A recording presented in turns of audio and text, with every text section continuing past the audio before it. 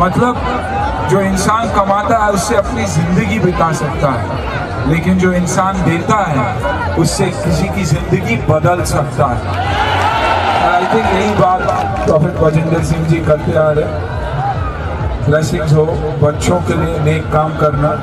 I think वही हमारे लिए जो जो जिन्हें ऊपर वाले ने सब कुछ दिया हुआ आई थिंक उन्हें तब जाके तृप्ति मिलती है, आराम मिलता है, एक एक सुकून सा मिलता है जब वो दूसरों के लिए कुछ करते हैं। तो इसलिए हर एक के लिए हमेशा ये नहीं होता कि किसी को आप पैसे दो या किसी को आप दौलत दे के उसकी मदद करें। लेकिन हमेशा ये होता है कि आप अगर एक इंसान के साथ दो वक्त भी, दो वक्त भी गुजारा आपने उनके साथ तो उसके लिए भी वो बहुत फ़र्क पड़ता तो ये याद रखिएगा और ये जो हमेशा कहते आए हैं, उसका पालन करना और इंसान की मदद में हमेशा आगे रहना। बहुत बहुत शुक्रिया वो डायलॉग जो प्रोफेसर बजिंदर सिंह जी ने कहा था, वो मेरी फ़िल्म धड़कन का था। और ये मैंने अंजलि के लिए कहा था, जो मुझे छोड़ के चली गई थी।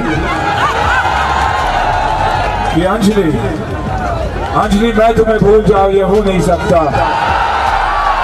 और तुम मुझे भूल जाओ। ये मैं होने नहीं दूँगा। तुम मेरी हो और हमेशा मेरी रहोगी। आई थिंक प्रॉफिट जी भी आपके लिए यही कह रहे हैं कि आप उनके हो और हमेशा उन्हीं के रहोगे और वो भी आपके ही रहेंगे हमेशा। राखी जी ने कहा कि आपको आना है। और राखी जी को मैं मानता हूँ कि क्या कहूँ, अपनी इंडस्ट्री की क्या है वो? हर चीज़ के लिए जहाँ इंसानों पे लोगों के लिए फ़र्क पड़ता आगे आती है तो ऐसा नेक काम करते रहना और अच्छाई के लिए और सच्चाई के लिए हमेशा करते रहना। यही मैं चाहूँगा। God bless and merry Christmas to all of you God bless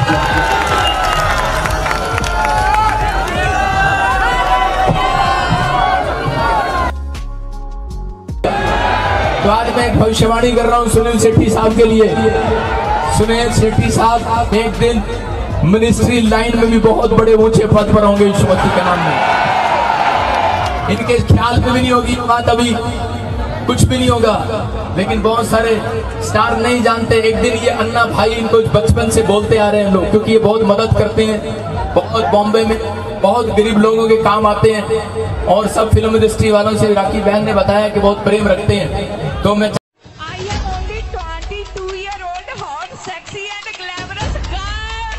लेकिन आज जब चर्चिस में बकवास बातों को होते हुए हम देखते हैं तो बहुत दुख पहुँचता है। दोस्तों सबसे पहले तो, तो नए साल के चढ़ते ही एक नई कंट्रोवर्सी हमारे सामने निकल करके आई है। मैं आपको बता दूँ ये कोई कंट्रोवर्सी नहीं है। ये एक रियलिटी है और जो आत्मिक लोग हैं वही इसको समझ सकते हैं। वो कभी भी नहीं समझ सकते जिनको एक वचन पता है कि दोष मत लगाओ कि तुम पर भी दोष ना लगाया जाए। वो सिर्फ़ एक बात जानते हैं और कमेंट में आकर के वो लिख करके चले जाते हैं। मैं उन लोगों से बात नहीं कर रहा बल्कि उन लोगों से बात कर रहा हूँ जो सचमुच में परमेश्वर की भेड़े हैं और परमेश्वर की आवाज़ को सुन करके चलती है। मैं आपको बता दूँ दोस्तों, जैसा कि अभी आप जानते हैं, प्रॉफिट बजिंदर सिंह ने, जो कि अपने आप को परमेश्वर के अभिषिक्त दास समझते हैं। मैं समझते इसलिए बोल रहा हूँ दोस्तों, क्योंकि ये हरकत कभी भी कोई परमेश्वर का अभिषिक्त दास तो नहीं कर सकता है। हरकत मैं अभी आपको दिखाने के लिए जा रहा हूँ। पहले आप इस वीडियो को देखिए।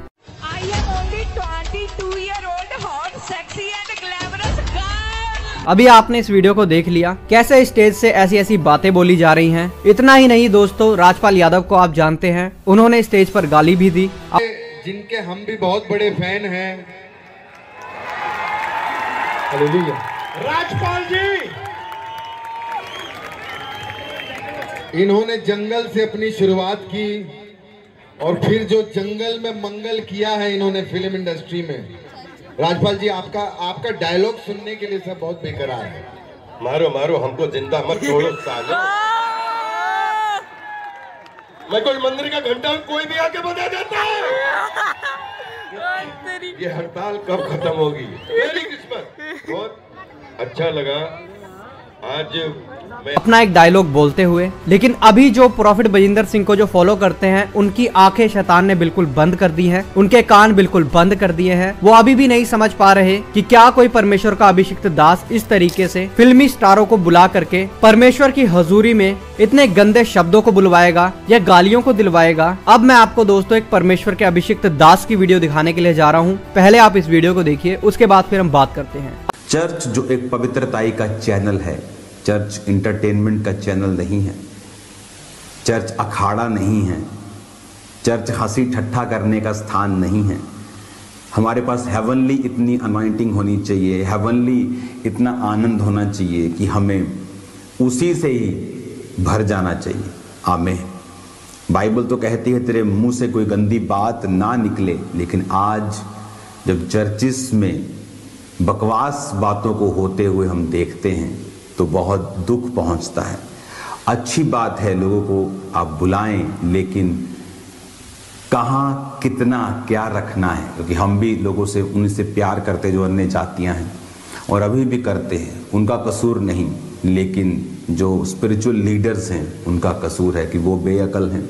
उन्हें मालूम नहीं कि हम किस तरह से हमको परमेश्वर की सेवकाई को आगे लेके जाना है। दोस्तों, इस वीडियो को देख लिया और आपको समझ में आ गया होगा दोस्तों, मैंने परमेश्वर के अभिषिक्त दास क्यों बोला? क्योंकि सचमुच में मैं आपको बता दूँ, परमेश्वर के दास अंकुर नरुला जी एक रियल मैन ऑफ़ गॉड हैं और इस बात को समझते हैं कि ये बात कितनी गंदी और कितनी घिनौनी है। पहली बात तो चर्च में बॉलीवुड के एक्टरों का काम क्या है? चर्च में उनको क्यूँ बुलाया गया है? अगर बुलाया गया तो उन्हें सुसमाचार बताए, बल्कि यहाँ पर सुसमाचार तो नहीं बताया गया। उसकी जगह पर उनसे ही डायलॉग बुलवाए, गालियाँ दिलवाई उल्टे सीधे शब्द बुलवाए, अभी आपको मैंने इस वीडियो में दिखाया। किस तरीके से जो ये एक्ट्रेस है, बड़े गंदे शब्दों को बोलती है इंग्लिश में, जिनको मैं हिंदी में एक्सप्लेन भी नहीं कर सकता। वो भी स्टेज से जहाँ पर परमेश्वर की उपस्थिति होती है। दोस्तों, आपको याद होगा, अगर आपने मेरी इस वीडियो को देखा था, मैंने सुनील सेट्टी के ऊपर एक वीडियो बनाई थी, जब उनसे अंजलि वाला डायलॉग प्रॉफिट बजिंदर सिंह ने बुलवाया था। इस सच्चाई को मैंने दिखाया तो मेरी इस वीडियो को इन लोगों ने टेक डाउन कर दिया। और क्या पता इस वीडियो को भी टेक डाउन करने की कोशिश करें। ये लोग स्टेज से गलत कर सकते हैं और हम गलत को दिखा भी नहीं सकते। लेकिन दोस्तों, परमेश्वर मेरे साथ है और मैं तो सच्चाई को दिखाऊँगा। और मैं एक बात फिर से बोल दूँ कि ये सब बातें सिर्फ़ वही समझ सकता है जो परमेश्वर का सचमुच में चुना हुआ है और आत्मिक है। वो कभी भी नहीं समझ सकते जो पापा पापा बोल करके पीछे घूमते हैं। लोग ऐसा सोचते हैं कि हम इनसे जलते हैं, लेकिन हम इनसे क्यों जलेंगे मुझे तो समझ में नहीं आता। अगर जलना होता तो पास्टर अंकुर नोरला जी से भी जलता और इस वीडियो में उनको परमेश्वर का अभिषिक्त दास भी ना बताता। अंकुर नोरला जी के पास बजिंदर सिंह से भीड़ ज़्यादा ही होगी, कम नहीं होगी, लेकिन वो सच में रियल मैन ऑफ़ गॉड है। आपने इस वीडियो में भी देख लिया किस तरीके से उन्होंने इस बात को बोला की आज हम चर्च में बकवास बातों को होते हुए देख रहे हैं और बाइबल में भी लिखा है की कोई गंदी बात तुम्हारे मुँह से ना निकले, लेकिन आज के जो लीडर्स है, वो खुद इस बात को समझ नहीं रहे।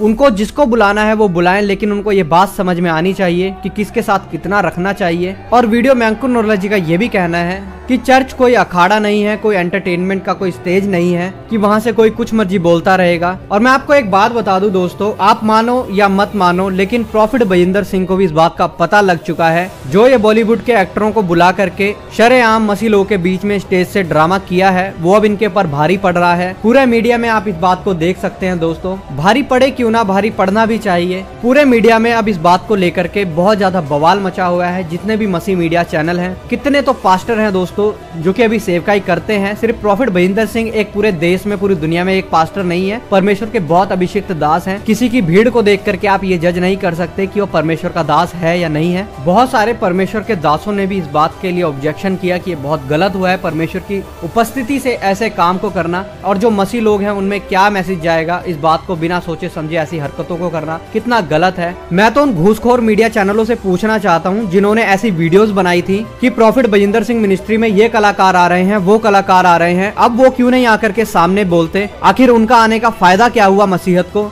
एक फ़ायदा तो बताएँ आकर के आखिर कैमरे पर, जिन्होंने बड़ी चाटुकारिता करी थी व्यूज़ के लिए बजिंदर सिंह की। मुझे तो दोस्तों पहले दिन से ही पता था, जब ये एक्टर आएँगे तो ज़रूर स्टेज पे ऐसी हरकतों को करेंगे, जिसकी वजह से कंट्रोवर्सी होगी और ये हो गई। बाकी दोस्तों, आप इन सब बातों पर क्या सोचते हैं, ज़रूर कमेंट बॉक्स में अपनी राय को लिख करके बताइएगा। अगर